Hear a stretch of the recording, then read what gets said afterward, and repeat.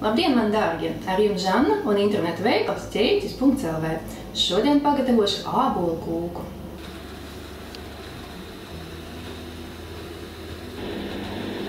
Nu, un gatavošanai man vajadzēs milti, sviest vai nu margarīns, krējums, sodā sāls, ola, cukurs, kanēls, nu, protams, ābolu.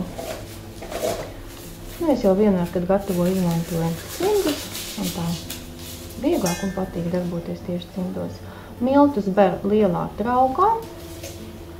Šīs trauks ir uh, metāla bļoda, ļoti ērti mazgāt, kopt un arī viņā gatavot. Uh, sviestu es ņemu augstu, gandrīz vai no saldētās, tad vieglāk ar viņu darboties, bet tu jau arī vari ņemt arī mīkstu sviestu. Un tad sarīvē un sajauc kopā ar miltiem. Redz, tā ir viegli viņu rīvēt, mazliet tā kā miltus, paber visu un paķer miltus. Tagad pievieno sālu klaut, nedaudz samaisa, tādā viendabīgā masiņā. Pievieno sodā, arī samaisa un krējumu. Krējumu jau var ņemt vienalga kādu, mums šīs ir 12%, var arī 15, 20. Ja arī citreiz pamaz krējumu, tad arī var pievienot kefīru nedaudz. Visu samīc mīklu tādā viendabīgā masā, nu kukurītis tāds mūks.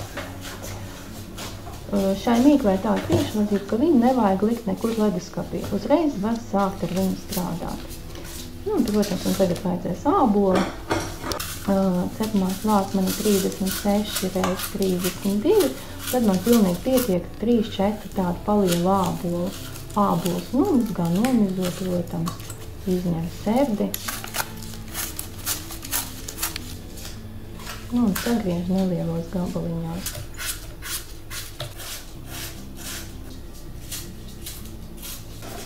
Kad āboli sagriezt, tad arī var citriet klāt pie mīkla. Es izmantoju šādi silikona paliknītes. Paklāju nimšanai slīdzi, viņa viegli arī strādā.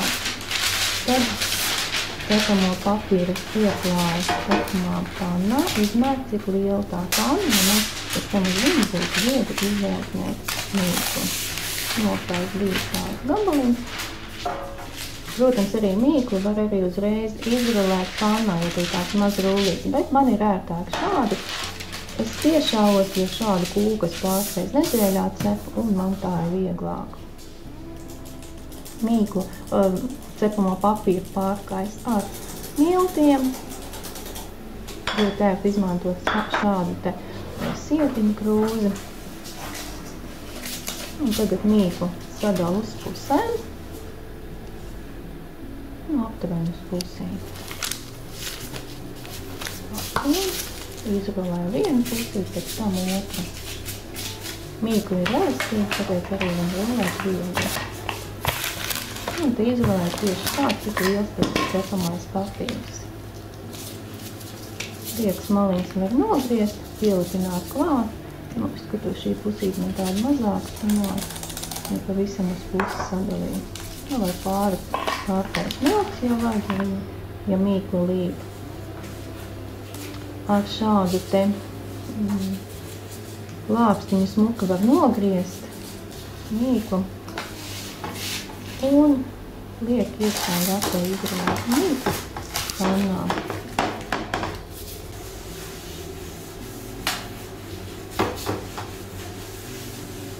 Tagad izrunā vēl vienu.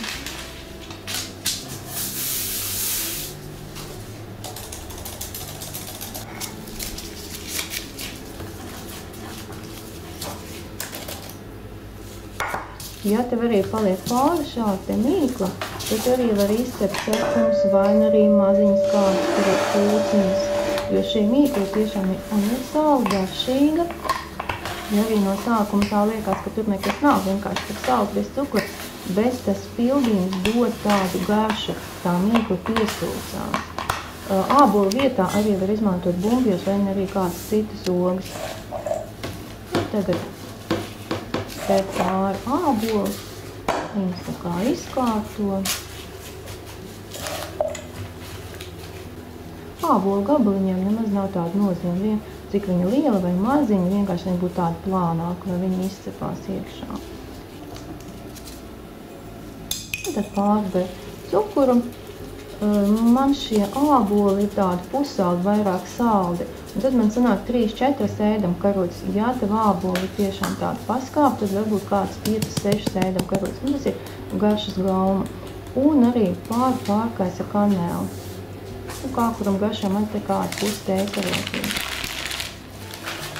Visu uzliek atlikušo izrulēto mīklu un ar rokām piespiež, lai neveidojās tās gaisa kabatas.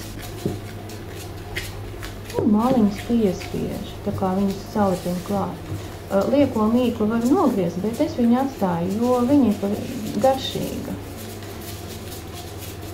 Viņu griezt tāpat, vien, man viņa žēl, tad kopā sanāk tā garšīgi.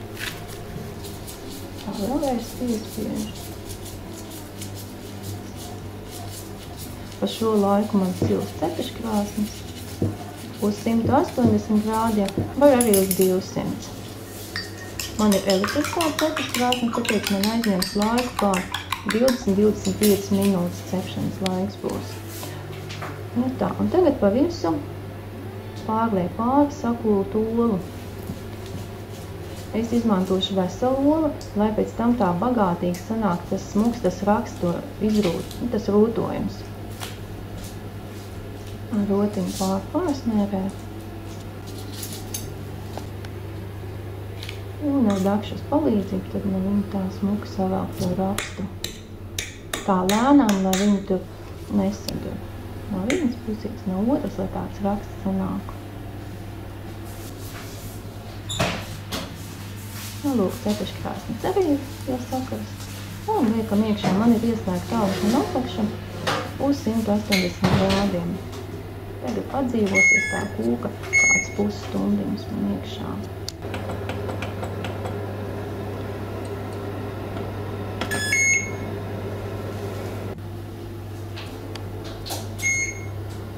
Tā, nu lūk, pagāja man 30 minūtes. Ābolu kūka, tāda palika jau zeltaina grūna.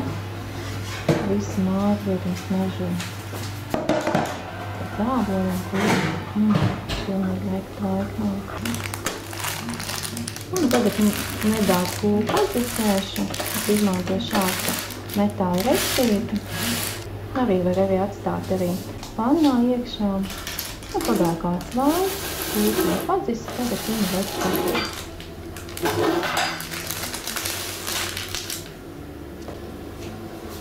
Es izmantoju šādu te picas nāzi, arī var vienkārši nāzi liek, bet picas ātri. Pat cik kā es jau minēju iepriekš, es ļoti bieži viņu cepu. Varēju jau no sākuma tās visas maliņas no visām pusēm smuki tā nogriezt, lai viss būtu vienādi, bet es uzreiz nebiešu šādi, tas ir picas mājā. Tādos smuki gabaliņos.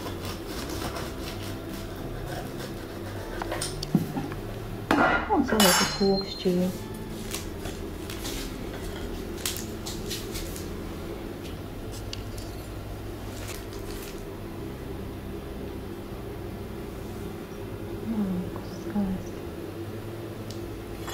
Var pateikt uzreiz, šī kūka pilnīgi ko smutē. Tik tiešām ļoti garšīga un viegli pagatavojama. Ābolu kūka ir gatava. Man atliek pateikt paldies par uzmanību labu apetīti! Un visi strauki bija izmantoti no internetu veikala ķēdes.lv.